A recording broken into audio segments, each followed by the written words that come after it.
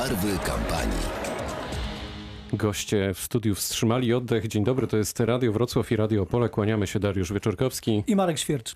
To nie pomyłka. Zapraszamy Państwa do zostania przy radioodbiornikach, bo właśnie teraz zaczynamy debatę z kandydatami z okręgu 12, czyli okręgu Dolnośląsko-Polskiego. W studiu Agnieszka Ścigaj, Kukiz 15. Dzień dobry, witam serdecznie. Anna Zalewska, Prawo i Sprawiedliwość. Dzień dobry, witam. Marcelina Zawisza, Lewica Razem. Dzień dobry. Robert Iwaszkiewicz, Konfederacja. Dzień dobry. Krzysztof Mieszkowski, Koalicja Europejska. Witam Państwa. I Krzysztof Śmiszek, Wiosna. Dzień dobry. Przed nami dwie rundy pytań, a później dyskusja. Kolejność alfabetyczna. Zaczynamy od literki A, a właściwie I, kończymy na Z, a następnie zaczynamy od literki Z i skończymy na I. Na odpowiedź w tej rundzie macie Państwo dwie minuty. Pierwsza runda to prośba o ocenę dotychczasowych działań Unii Europejskiej. No i na początek Robert Iwaszkiewicz. Jako Przypominamy, ma pan minutę teraz. Nie, dwie minuty. Dwie. W tej rundzie. Okej. Okay. Jako jedyny w tym gronie mam pięcioletnie do, doświadczenie w, Europe, w Parlamencie Europejskim i mogę powiedzieć tylko tyle, że prawo, prawo tworzone w Parlamencie Europejskim jest beznadziejne. Mamy z tym do czynienia na każdym kroku. Możemy ostatnie e, wspaniałe mm, prawodawstwo wymienić, typu Akta 2, pakiet mobilności i tego typu rzeczy. Jest to e, jeden wielki skok na, według mnie, na pieniądze zwykłych ludzi. Po prostu lobbyści, e, konsorcja, instytucje unijne chcą zabrać zwykłym ludziom jak najwięcej pieniędzy i w tym kierunku zmierza całe prawodawstwo Unii Europejskiej. Nie tylko, nie tylko e, jest to skok ekonomiczny i finansowy na, na pieniądze zwykłych ludzi, ale, ale też e, skok na w moim mniemaniu na, na głowy zwykłych ludzi, czyli indoktrynacja, czyli mieszanie ludziom w głowach, informacja, która powoduje to, że ludzie nie dyskutują o tym, co jest ważne, a dyskutują o tym, e, co narzuca im Unia Europejska, co narzuca im Parlament Europejski. To samo pytanie Krzysztof Mieszkowski.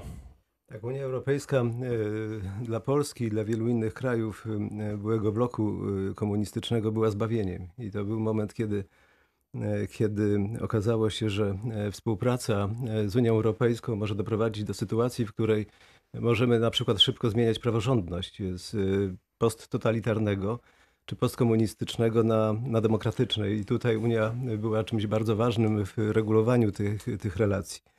Po pierwsze, dla mnie, przyglądając się w ostatnich latach Unii Europejskiej, e, największym problemem jest e, nierozprawienie się chyba z najpoważniejszym problemem, z jakim dzisiaj mamy do czynienia e, nie tylko w Europie, ale także poza nią z uchodźcami.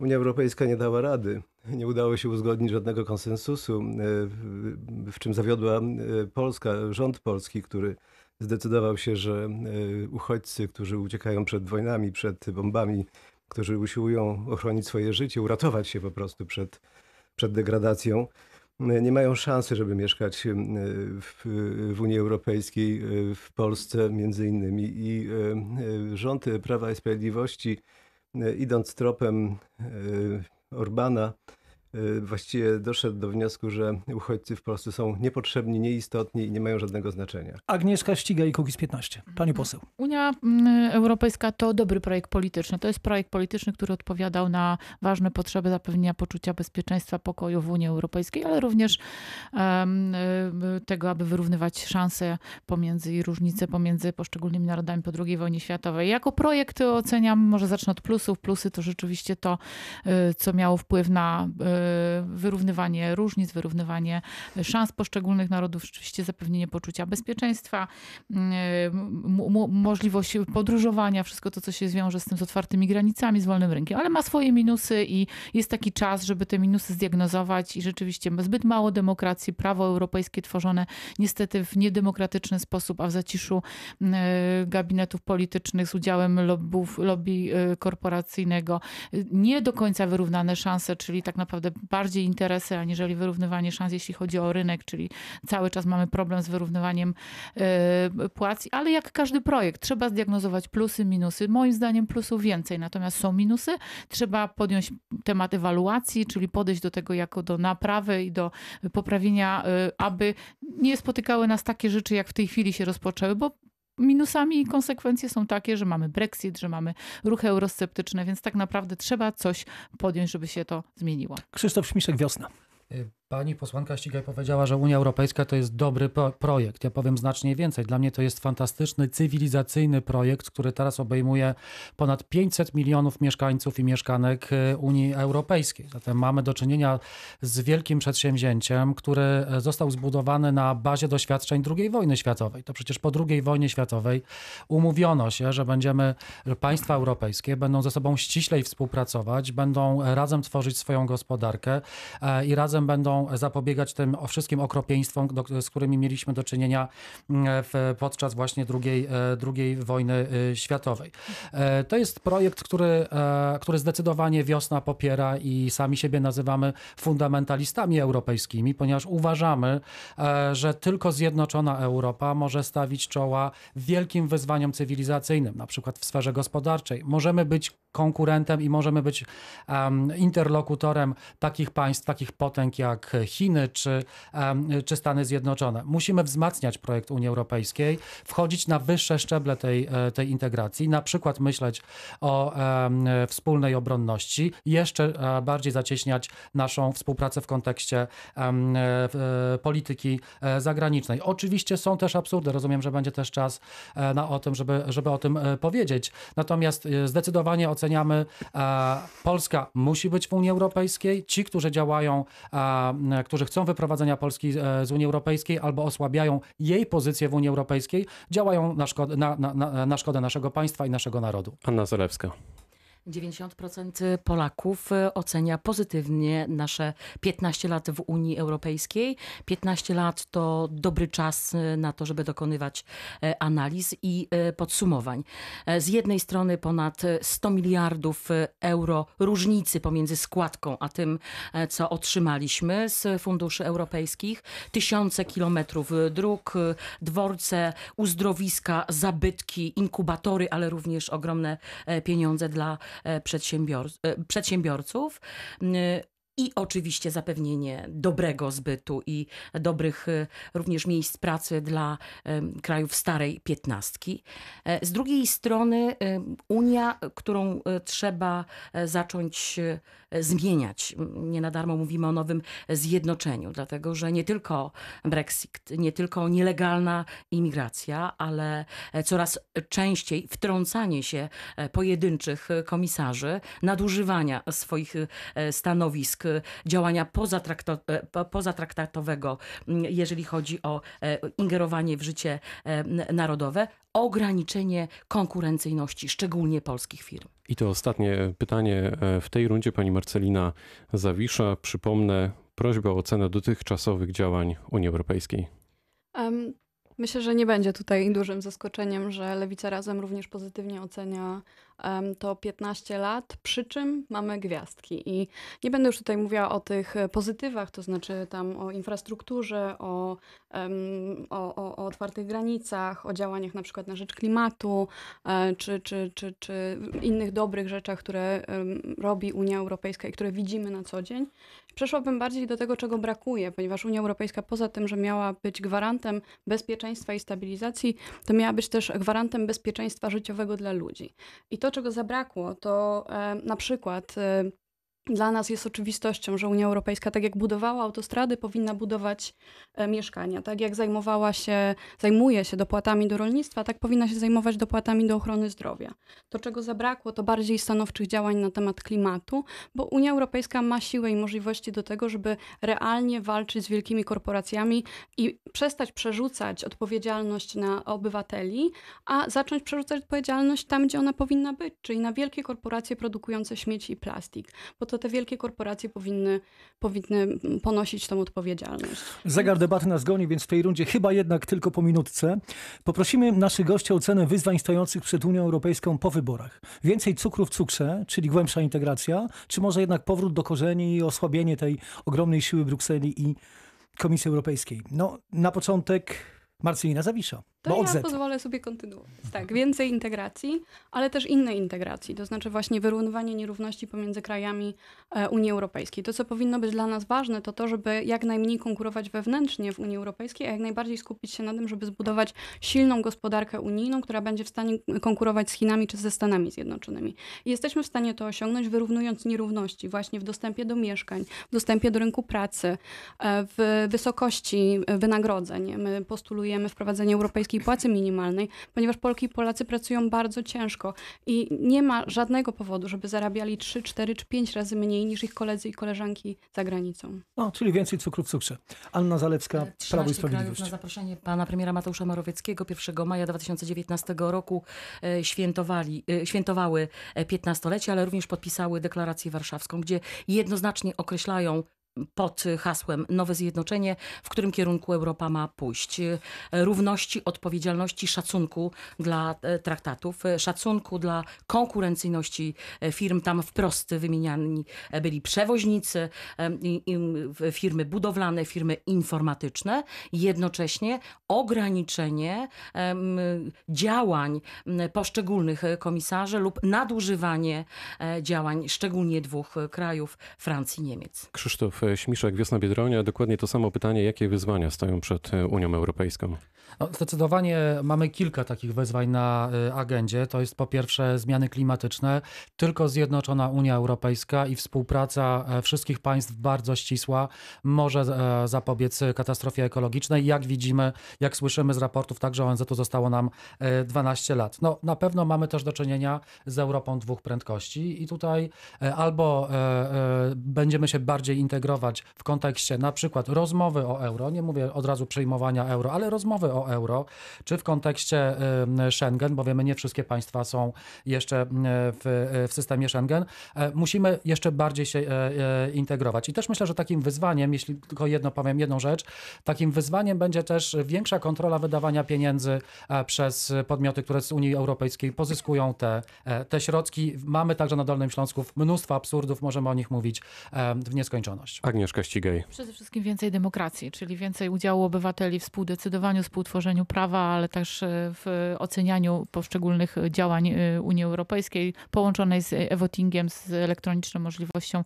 e, dyskusji. Bardziej koncepcja konfederacyjna Europa Ojczyzn z poszanowaniem odrębności, ale tak naprawdę połączeniem się w tych momentach, kiedy mamy wspólne cele, jak na przykład walka z przestępczością zorganizowaną i ochronienie granic, albo dobra i mądra polityka migracyjna, która tak naprawdę e, będzie humanitarna z jednej strony, a z drugiej strony zapewniająca bezpieczeństwo e, obywateli i rzeczywiście zadbanie przede wszystkim o równą, godną, w miarę na podstawowym poziomie płacę, bo to jest najważniejsze, czyli płaca, bo ludzie w Unii Europejskiej chcą zarabiać, e, przede wszystkim chcą zarabiać po to, żeby móc płacić podatki, aby Europa była solidarna, więc to jest podstawowa, podstawowe zadanie i wyzwanie dla Unii Europejskiej. Krzysztof Mieszkowski.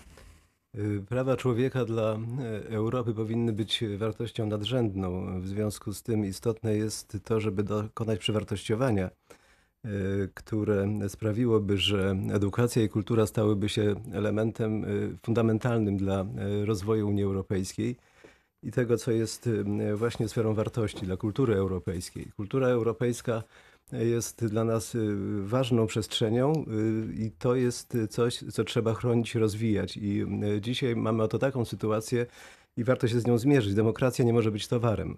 Wolny rynek nie, jest, nie, nie może zastąpić demokracji. W związku z tym to, co powiedział Jean Monnet wtedy, kiedy tworzył Unię Europejską, a właściwie jakiś czas później powiedział, że gdyby raz jeszcze podjął taką próbę stworzenia Unii Europejskiej, powiedziałby, powiedział, że zacząłby od kultury. I w związku z tym dzisiaj musimy mieć świadomość tego, że jeżeli prawa człowieka nie będą respektowane przez Unię Europejską, czy Unia Europejska nie, nie zrobi wszystkiego, żeby te, Unia, żeby te wartości były chronione, wówczas no, będziemy mieć potężny problem, z jakim dzisiaj mamy już do czynienia, a więc z falą faszyzmu i populizmu, który wkracza do Europy. I na finał tej rundy Robert Iwaszkiewicz, Konfederacja. Jak słyszymy od wszystkich moich kontrkandydatów, e, socjalizm, więcej socjalizmu, socjalizm odmieniany przez wszystkie przypadki. A wiemy, że e, ten socjalizm tworzymy e, z pieniędzy. Unia Europejska nie ma pieniędzy, musi je komuś zabrać, a zabiera przede wszystkim obywatelom Unii Europejskiej.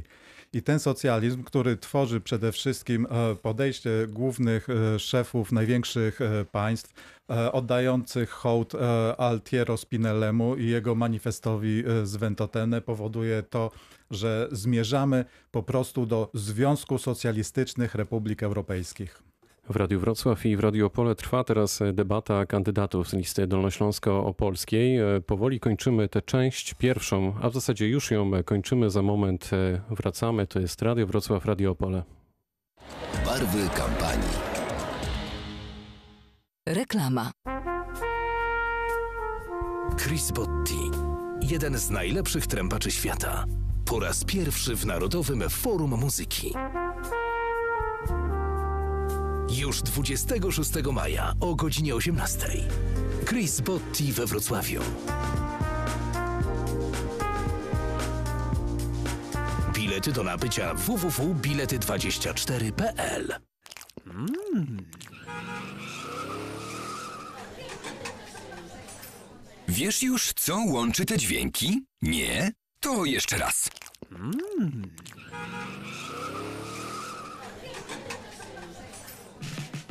Zgadliście! Szykuje się Street Food Festival od piątku do niedzieli 24-26 maja w Centrum Handlowym Tarasy Gramiszyńskie.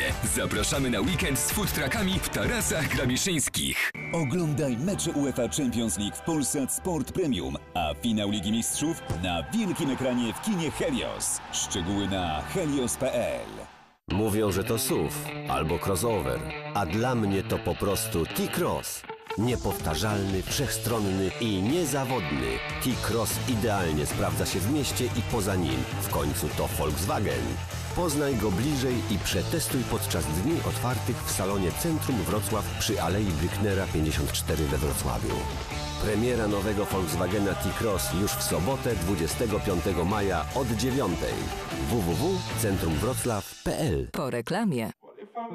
To jest popołudnie z Dolnego Śląska w Radiu Wrocław, w którym dzisiaj do godziny 17 debata przedwyborcza.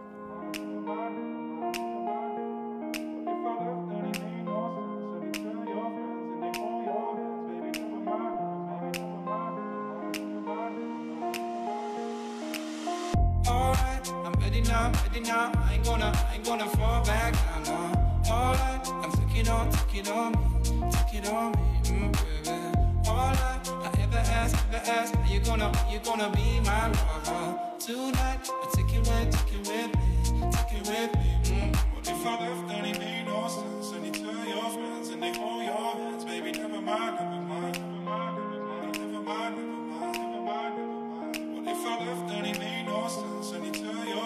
they your hands, baby, never mind, never mind.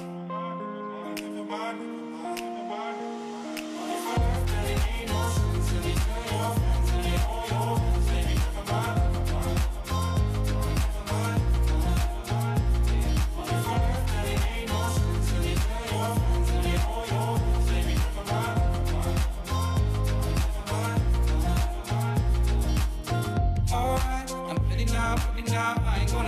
on the stop right now, now. Alright, I took it on, took it on me Took it on me, you baby. Alright, I never ask, never ask, Do you wanna, do you wanna see my fire? Tonight, take it with, take it with me.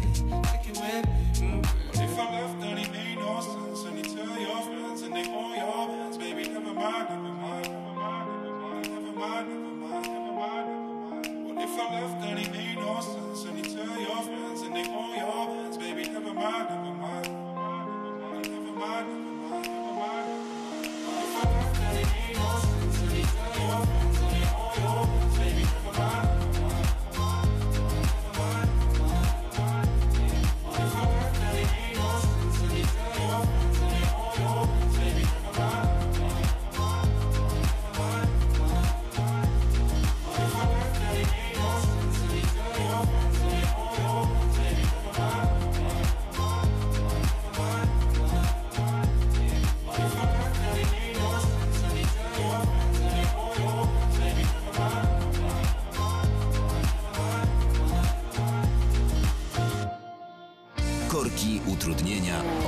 Zdarzenia drogowe. Drogowskaz Radia Wrocław. Zbliża się 16.30 Michał Kazulo. Zaczynamy od wiadomości sprzed chwili. Dzwoni pan Damian. Dzień dobry. Dzień dobry. Ja chciałem zgłosić e, wypadek przed Magikami na 107 km ósemki. Jedno auto leży w rowie, a rozbity bus stoi blokuje, blokuje prawy pas. Bus ma rozbity cały przód. Dziękuję za ten telefon. Już teraz korek przed światłami w Magnicach. W jedną i drugą stronę ma 3 km. Przypominam też, że trwają prace drogowe na czwórce przy bramkach w Karwianach. Korek w stronę Legnicy ma prawie 10 km. W drugą stronę także roboty drogowe i 3-kilometrowy korek już na wysokości zjazdu na Bielany Wrocławskie. We Wrocławiu najdłuższe korki na Karkonoskiej, Mokronowskiej i Opolskiej do centrum, sznurout na Klecińskiej do Fatu, Armii Krajowej Wiśniowej oraz Strzegomskiej przed rondem Pileckiego. Sponsorem prognozy pogody jest Bukowy Park, Hotel Medical Spa www.bukowypark.pl Jutro chłodniej e, niż dziś. Jutro do 18 stopni może być deszczowo i burzowo. Podobnie będzie e, w nocy. E, czeka nas ciepła noc. Do 14 stopni będzie wiało dość silny, porywisty wiatr do 60 km na godzinę. W tej chwili od 18 stopni w Wałbrzychu do 22 stopni we Wrocławiu i w Zgorzelcu, a na wrocławskim barometrze 989 hektopaskali. A już zaraz wracamy do debaty przedwyborczej, która dzisiaj na dwóch antenach w Radiu Wrocław i Radiu Opole, którą poprowadzą Marek Świerczy i Dariusz Wieczorkowski. Sponsorem prognozy pogody jest Bukowy Park, Hotel Medical Spa www.bukowypark.pl Barwy kampanii. A na antenie Radio Opole i Radio Wrocław druga część debaty. W studiu nadal nikt nie uciekł ze studia Agnieszka Ścigaj, Anna Zalewska, Marcelina Zawitrza, Robert Iwaszkiewicz, Krzysztof Mieszkowski i Krzysztof Śmiszek. No i ta druga część będzie miała e, taką formułę dyskusji, trochę ringu. Na początek wrzucamy wątek związany z euro. Za, a może nawet e, przeciw. Marcelina Zawisza. Przede wszystkim nie na takich warunkach. Znaczy my uważamy, że Polska powinna przystąpić do euro, ale pod warunkami. To znaczy przede wszystkim Europejski Bank Centralny poza tą kwestią fiskalną musi jeszcze patrzeć na kwestie związane na przykład z pełnym zatrudnieniem, to znaczy to powinien być e, jeden z kryteriów i, i, i jakby celów a, a druga rzecz to jest kwestia tego, żeby jednak była większa demokratyczna kontrola nad tym, co tam się dzieje. Widzieliśmy, jak to wyglądało w 2008 roku, kiedy mieliśmy kryzys gospodarczy i kiedy te silniejsze kraje, czyli Niemcy i Francja, e, próbowały tak e, jakby sterować euro, żeby ich gospodarki były e, uratowane, a jednocześnie jakby te kraje południa, czyli Hiszpania czy Grecja, bardzo źle odczuły te, te, te działania i nie miały specjalnie dużo do powiedzenia, jeżeli chodzi właśnie o, e, o to, jak, jak znaczy nie miały możliwości wpływania po prostu na euro. W związku z czym tak, ale pod tymi warunkami, że większa demokratyzacja, większy, większa kontrola oraz oczywiście inne priorytety Europejskiego Banku Centralnego. Krzysztof Śmiszek. No cóż, y, Polska wstępując do Unii Europejskiej zobowiązała się do przyjęcia wspólnej waluty i kłamią ci, którzy mówią, że nigdy nie wejdziemy do strefy euro. To jest populistyczna, e, populistyczna narracja. Jesteśmy zobowiązani, e, ale oczywiście musimy, musimy odbyć debatę. Zarówno ten rząd, jak i poprzednie rządy nie zadbały o to, żeby e, przeprowadzić z Polkami i Polakami rzetelną debatę o skutkach wejścia do strefy euro. Słyszymy tylko, że śmietana będzie kosztowała 30 zł, że nagle wszyscy zbankrutowali to jest y, zły kierunek dyskusji. Nie, nie teraz. Nie, nie będziemy wchodzić. Nie, wiosna nie postuluje absolutnie e, do wchodzenia do strefy euro e, w tym momencie. Musimy najpierw odbyć rzetelną dyskusję z Polkami e, i z Polakami. Musimy pokazać za i przeciw. Musimy zapytać wszystkich naszych obywateli, czy życzą sobie obecności naszego kraju w strefie euro. Ale do tego potrzeba świeżej krwi, świeżych ludzi, także w Europarlamencie, którzy będą potrafili stymulować taką dyskusję. Tutaj, dzisiaj nikt e, z naszych obecnych polityków nie jest w stanie poprowadzić rzetelnie takiej dyskusji. Co zrobi Kukiz 15? Agnieszka Ścigaj za czy przeciw i kiedy? Z całą pewnością y, jesteśmy przeciw na razie przynajmniej nawet dyskusji na temat euro, dlatego że jeśli Unia Europejska nie wprowadzi reform i nie przestanie być zarządzana centralistycznie, to nie możemy sobie pozwolić na utratę takiej suwerenności ekonomicznej, jaką daje nam e, własna waluta, bo jeżeli coś jest źle zarządzane, to nie możemy poddać się zarządzaniu temu złemu zarządzaniu, tak? Więc siłą rzeczy daje nam to pewne poczucie gwarancji, stabilności e, i wpływu na własną gospodarkę, przynajmniej e, na ten moment. Po drugie, no przede wszystkim to, co powiedziałem na początku, jeżeli płace będą wyrównane, bo to jest najważniejsze, jeżeli rzeczywiście będziemy godnie zarabiać, to wtedy możemy rozpocząć poważną dyskusję, bo w tym momencie od samej zmiany waluty nie przybędzie nam w portfelach nic, a wręcz przeciwnie, korzystając z doświadczeń krajów Europy Wschodniej, które przyjęły walutę, widzimy, że niestety wcale poziom życia z tego powodu się nie poprawił, a wręcz przeciwnie, w sklepach po prostu ceny poszły w górę, więc uczmy się na błędach innych i wyciągajmy wnioski. Krzysztof Mieszkowski. Ja tylko dodam, że możecie Państwo patrząc sobie tutaj prosto w oczy i siedząc obok siebie, czasem się nawet pokłócić. Krzysztof Mieszkowski. Proszę. To jest poważny problem oczywiście i widać jak to jest gorąca sprawa po, po tym, co rozpętał Jarosław Kaczyński, który za pomocą pytania i strachu przed wprowadzeniem Polski w strefę euro no, wywołał właściwie w jakimś momencie jakiś strach, jakiś rodzaj lęku, jakiegoś przewrażliwienia i to jest po prostu sytuacja niedopuszczalna. Oczywiście trzeba przeprowadzić poważną debatę, przygotować polskie społeczeństwo. My sami się musimy do tego przygotować. My sami musimy wiedzieć, jakie są dobre strony i złe strony wprowadzenia euro. Istotne jest również to, żebyśmy mieli świadomość tego, że na to powinno zgodzić się polskie społeczeństwo. W związku z tym nie mam wątpliwości żadnej, że po odbyciu poważnej debaty, poważnej dyskusji, powinno zostać, powinno się odbyć referendum i w tym referendum może warto wtedy zobaczyć, jak, jak to wygląda i czy Polacy chcą być w strefie euro. Uważam, że to jest konieczność wynikająca z podpisanych traktatów akcesyjnych. Dzisiaj straszenie euro jest po prostu nie dość, że niegodziwe, jest wysoce nieetyczne i namawiam Państwa do tego, żebyście o euro myśleli w sposób odpowiedzialny, otwarty i obiektywny. Robert Iwaszkiewicz, Iwaszkiewicz Konfederacja. Przedmówca mój zaczął, że jest to wielki problem. Oczywiście zgadzam się, euro jest to wielki problem, a problemów nam nie potrzeba. Polska złotówka jest wystarczającą walutą a my, Konfederacja, jako wolnościowcy, jako zwolennicy e, wolnego rynku, jesteśmy za tym, żeby utrzymać e, waluty narodowe jako wolna i, i swobodna konkurencja pomiędzy poszczególnymi państwami. Co zrobi Prawo i Sprawiedliwość? To pytanie na koniec do pani Anny Zalewskiej. My jesteśmy jednoznaczni w Jasiące. Każda jedynka, ale to reprezentanci Zjednoczonej Prawicy Prawa i Sprawiedliwości podpisali deklarację europejską i tam jednoznacznie i wyraźnie mówimy polska złotówka. Dlaczego? Dlatego, że złotówka zapewniła nam ogromny wzrost gospodarczy.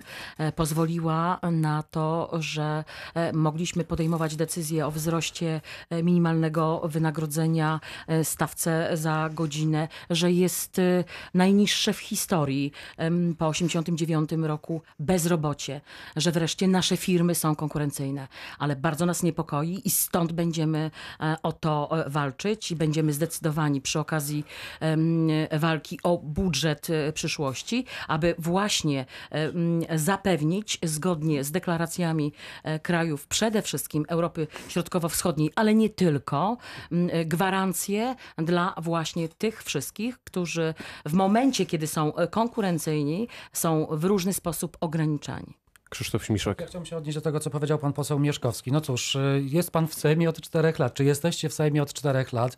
I dzisiaj pod koniec kadencji mówi pan, trzeba rozmawiać. Wie pan, gdybym ja był posłem od czterech lat, to prowadziłbym tego typu rozmowy ze swoimi wyborcami, wyborczyniami. Nie widzę aktywności, nie mówię o Prawie i Sprawiedliwości, który ciągnie nas do tyłu, jeśli chodzi o projekt europejski, ale partie, szczególnie państw, pana partia, która mieni się nowoczesną, postępową, europejską, zero dyskusji. Nie widzę waszych posłów, którzy by promowali projekt y, europejski. Nie nie widzę też e, posłów e, nowoczesnej, czy szczególnie Platformy Obywatelskiej, którzy by wzbudzali tę dyskusję. Jest ciągle nawalanka między wami a Prawem i Sprawiedliwością, mm, a nie widzę e, rzetelnej debaty na temat tak fundamentalnej cywilizacyjnej kwestii, jak przystąpienie do strefy Dajmy odpowiedzieć.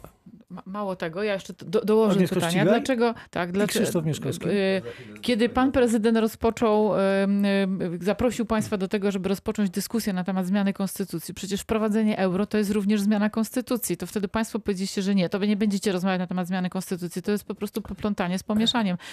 Była szansa, żeby właśnie rozpocząć debatę i rozmawiać o tych obszarach, gdzie trzeba zmienić konstytucję. Jeśli państwo jesteście zwolennikami tej zmiany, to trzeba było się przychylić do tej e, e, propozycji pana prezydenta, bo byłaby pole do tej rozmowy. Krzysztof Mieszkowski To jest, odpowiada. e, Proponuje mi, e, mi pani i- formacji demokratycznej e, e, coś absolutnie nieodpowiedzialnego. Otóż prezydent, e, który łamie konstytucję, mówi o zmianie konstytucji. Jak można w ogóle w ten sposób myśleć? E, e, To jest niedopuszczalne. W żaden sposób nie można tego akceptować. To po pierwsze, e, pan Śmiszek tutaj tak bardzo ostro pojechał po Nowoczesnej i Platformie Obywatelskiej, bo rozumiem, że my tutaj walczymy o wyborców. Pan e, tak zdecydowanie e, to akcentuje.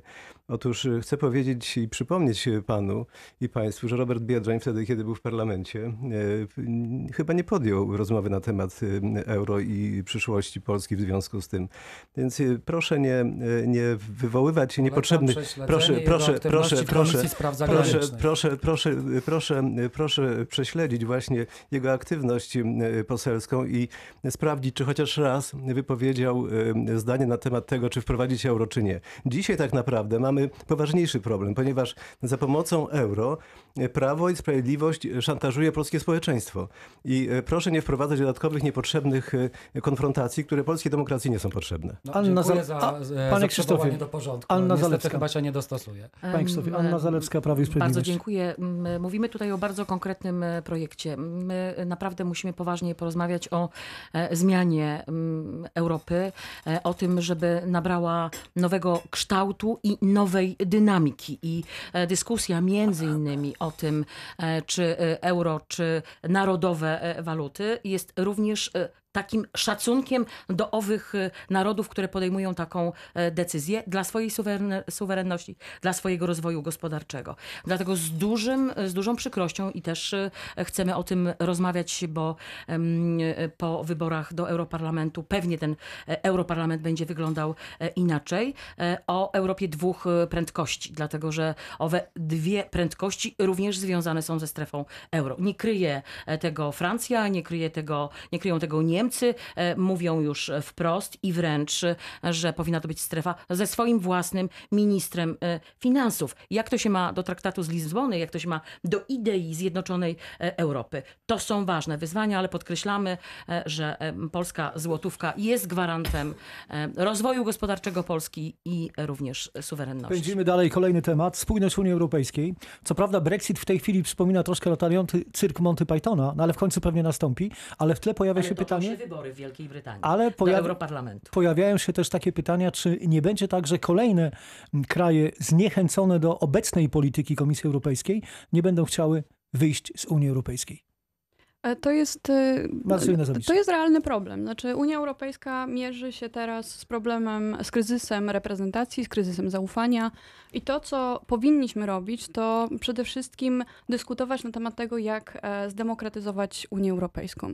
Jak doprowadzić do tego, żeby realnie ludzie e, ufali Unii Europejskiej i oczywiście Polki, Polacy darzą Unię Europejską zaufaniem, cieszą się, że jesteśmy w Unii Europejskiej. My też się cieszymy, ale musimy odpowiedzieć sobie na te pytania, jeżeli chcemy, żeby projekt europejski nie tylko przetrwał, ale się rozwijał. I z jednej strony to jest właśnie ta kwestia wzmacniania obywatelskości, wzmacniania, em, wzmacniania e, głosu obywateli i siły Parlamentu Europejskiego. Z drugiej strony to jest na przykład ukrócanie korporacji międzynarodowych i tego, jak one funkcjonują. To jest likwidacja rajów podatkowych, ponieważ na przykład od znowu jakby odwołam się do kryzysu 2008 roku. E, wszyscy widzieliśmy, jak wielkie korporacje i ich szefowie uchodzą płazem i nie, odpowiad- nie odpowiedzieli za to, co zrobili. A tymczasem zwykli ludzie tracili mieszkania, tracili pracę e, i musimy sobie poradzić z tym jako Unia Europejska i my jako Lewica Razem mamy na to odpowiedź. Więcej demokracji, większa siła dla Parlamentu Europejskiego i wyrównywanie nierówności w ramach Unii Europejskiej. Krzysztof Śmiszek, czy za Wielką Brytanią pójdą kolejne kraje? No cóż, y, jest taka możliwość, y, ponieważ nieodpowiedzialne rządy rozpętują tę, e, tę nienawiść wobec, wobec Unii Europejskiej, ale ja się szybko odniosę do słów pani, e, pani minister. Pani minister mówi, e, to skandal, jest dyskusja e, na temat... Dobrze, to, to jest dyskusja na temat, proszę bardzo, na temat odrębnych instytucji dla strefy euro. No cóż, jest, tak pani minister, jest dyskusja, tylko gdzie wy jesteście jako rząd w tych dyskusjach? Silniejsi idą do przodu, silniejsi, silniejsi się integrują, a my machamy szabelką i mówimy tylko państwo narodowe, tylko państwo narodowe. To jest polityka, która Polki i Polaków zaprowadzi donikąd. Trzeba przy tym stole siedzieć, trzeba przy tym stole negocjować, trzeba być silnym, a nie trzeba, a, a nie wystarczy tylko na, na, na wewnętrzne potrzeby, e, na, na wewnętrzne potrzeby mówić, że ktoś e, za naszymi plecami próbuje jakąś instytucję zmontować. My montujmy te instytucje, bądźmy e, przy Hiszpanii, bądźmy przy Francji, bądźmy przy, przy Niemcach, tak żebyśmy na, prowadzili naszą, e, e, naszą politykę, a nie tylko narzekać, że ktoś nas ubiegł i ktoś za naszymi plecami montuje e, koalicję, bo wy żadnej koalicji w Unii Europejskiej zmontować nie Agnieszka jesteście w Ścigaj. stanie. No ale dokładnie jest odwrotnie. To znaczy, że Unia Europejska przeżywa te kry- kryzysy i Brexit jest efektem tego, że nie ma żadnej refleksji wśród polityków starych wszystkich frakcji, wszystkich, którzy doprowadzili do tej sytuacji, że w poszczególnych państwach pojawiają się coraz silniejsze, coraz głośniejsze ruchy eurosceptyczne. Dlatego, że Unia Europejska kompletnie nie słucha swoich obywateli. Ona jest przekonana i politycy, którzy tam od lat zasiadają i dobrze się mają za dobre pensje, oni są przekonani, że oni mają patent na wszechwiedzę i będą wiedzieć, co zrobić najlepszego, żeby, żeby było dobrze dla obywateli. A tak naprawdę robią wszystko dla siebie. Statystyki mówią jasno i wyraźnie, że Unią Europejską coraz bardziej rządzą pieniądze, coraz bardziej rządzą korporacje, mało jest tam demokracji i ludzie się po prostu buntują. I Brexit jest wyrazem buntu. I na to trzeba wziąć pod uwagę. Ja mówiłam o ewaluacji. Trzeba sprawdzić, dlaczego tak się dzieje i posłuchać ludzi i zobaczyć, co im nie tak podoba się w Unii Europejskiej. Bo projekt polityczny, dobry, ale zepsuty przez złych rządzących i takich, którzy nie potrafią e, tak naprawdę sięgnąć dalej niż za własne biurko i za Komisję Europejską. Dlatego uważamy, że takie frakcje jak my i sześć państw innych, których wcześniej porozmawialiśmy, są potrzebne, bo to jest prawdziwa świeżość i reforma Unii Europejskiej po to, aby ona się po prostu nie rozpadła. Krzysztof Mieszkowski. Gdybym miał zdefiniować pani wypowiedź, to jest e, kwintesencja populizmu właśnie. E, Otóż, Słuchania otóż ludzi, tak. To- e, to- nie, nie, nie, to- to jest nie- demokracja, państwo to jest nie, państwo nie demokracja, panie słuchacie pośle, tak ludzi. się- Przede tak wszystkim się- trzeba powiedzieć, e, e, że e, Brexit e, czy, i proces, który trwa, bo przecież e, Wielka Brytania nie wyszła jeszcze z Unii Europejskiej i wszystko wskazuje na to, że nie wyjdzie, moim zdaniem. Natomiast e, warto pamiętać, że David Cameron e, podjął walkę, e, ogłaszając referendum o swoje przywództwo w partii konserwatywnej. To była niestety partyjna, prymitywna decyzja Davida Camerona, za co został zesłany w niebyt polityczny. Mam nadzieję, że nie powróci stamtąd. Natomiast dzisiaj myśląc o spójności Unii Europejskiej, bo tu przypuszczam o kulturze nie będziemy rozmawiać, ponieważ w tych debatach politycznych kultura jest zawsze zmarginalizowana, a chcę Państwu przypomnieć, że To gospodarka jest nieprawda, częścią... będziemy tutaj bronić. a- a Rozmawiamy gos- także a na gospodarka- antenie Radia Wrocław i Radia Opole o szeroko pojętej kulturze. Okej, A gospodarka jest e, częścią kultury, o czym e, warto na każdym kroku przypominać. I e, moim zdaniem, żeby uzyskać spójność aksjologiczną, spójność wewnętrzną Unii, należy e, wprowadzić taką edukację i taką e, i pewne e, zaczepy, które mieszczą się w sferze szeroko rozumianej kultury. Powiem jeszcze jedno zdanie i kończę, że Unia Europejska Jedno powinna zdanie. wprowadzić wspólną edukację historyczną i kulturalną dla Europejczyków. Wówczas będziemy mieć e, szansę na, na coś, co będzie wspólną przestrzenią To jest zdanie wielokrotnie złożone. Robert Iwaszkiewicz, pan otwarcie mówi, że nie lubi Unii Europejskiej. Pan się cieszy, że na przykład Wielka Brytania opuszcza Unię Europejską? Chce opuścić? To nie jest kwestia lubienia czy nie lubienia, to jest po prostu podejście e, według mnie interesowne. I o ile w mijającej kadencji 4,5 roku temu e, uratowałem jedynie e, scepty, uniosceptyczną e, frakcję w Parlamencie Europejskim, której przewodniczy Nigel Farage, e, którego partia doprowadziła właśnie do pozytywnego referendum e, w sprawie Brexitu. O tyle po, po jakimś czasie powstała kolejna grupa uniosceptyczna. W tej chwili oceniam ilość uniosceptyków w Parlamencie Europejskim na około 200. We wszystkich frakcjach. We wszystkich frakcjach można naliczyć około 200 e, uniosceptyków. I w tej chwili ruchy uniosceptyczne nas- nasilają się w całej Europie. E, Widać to i w Hiszpanii, widać to e, we Włoszech, wi- widać to w Austrii, a nawet w Holandii, która, która tak bardzo e, wracając do euro. W Niemczech, proszę pana. A nawet w, w Niemczech AfD jak najbardziej. I to są państwa Widać. sojusznicy, jak rozumiem, tak? E, oczywiście, że tak. Także ja liczę na jeszcze większą ilość. E, bardzo dziękuję. Będę się o to starał, jak tylko będę mógł. A proszę pana, a takie hasło, które, które e, pańska formacja, e, czy państwa, pańska koalicja ogłosiła, Żydziwon, to, to jest e, element, proszę mi powiedzieć, to jest przecież faszystowskie hasło. Dlaczego, dlaczego Jednym zdaniem i Konfederacja dajmy się pod tym- odpowiedzieć pod tym e, podpisuje? Dlaczego idziemy Zalewskiej. Nie zrozumiałem pytania. A pan nie, pan nie rozumie Pani pytania? Anna Zalewska. Pani Anna. Zalewska. Pan redaktor zapytał o politykę spójności. 16 krajów, które e, nazywamy Przepraszam, przyjaciółmi panowie, e, panowie. polityki spójności.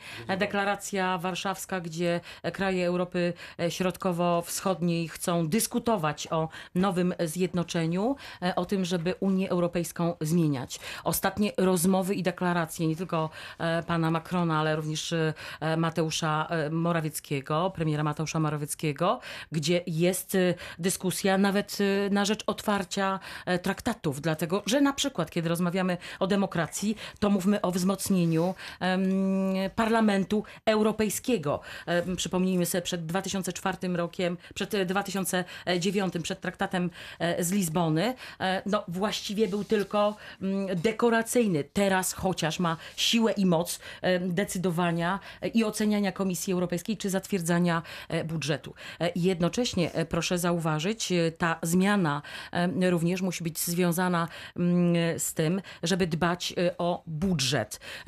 Łącznie z walką nie tylko z rajami podatkowymi, z pomysłem na podatek cyfrowy, ale również z uszczelnieniem VAT-u. 50 miliardów euro co roku. Tu stawiamy kropkę. To jest.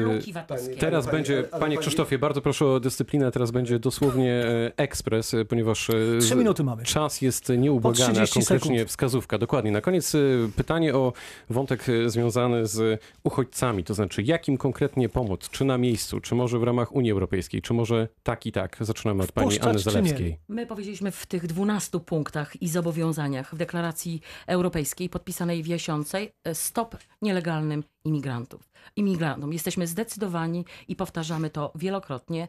Wsparcie na miejscu po to, żeby w rodzinnych miejscowościach e, w swoim kraju odby- odbudowywali swoją siłę. Robert Iwaszkiewicz. Jako wolnościowiec nie mam nic przeciwko temu, żeby ktoś, kto chce przyjechać do Polski, tutaj ciężko pracować, e, osiedlić się, integrować się e, z Polakami, żeby przyjechał i, i po prostu był. Natomiast po zasiłki to proszę jechać, ale gdzie indziej. Mhm. Krzysztof Mieszkowski. Dlatego y, na waszych sztandarach jest hasło Żydzi won, rozumiem, z Polski czy z Europy. Y, Wie pan, y, to jest jakaś sytuacja, która, z którą trudno sobie poradzić.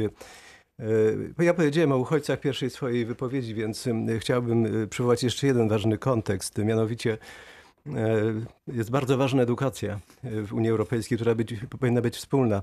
Y, Na szczęście Pani, pani, pani, jest pani, poza pani, pani, pani ministra, e, mam nadzieję, że, że to się zmieni. Pani ministra Zalewska w trakcie strajku szkolnego zamiast negocjować z nauczycielami poszła po prostu się modlić.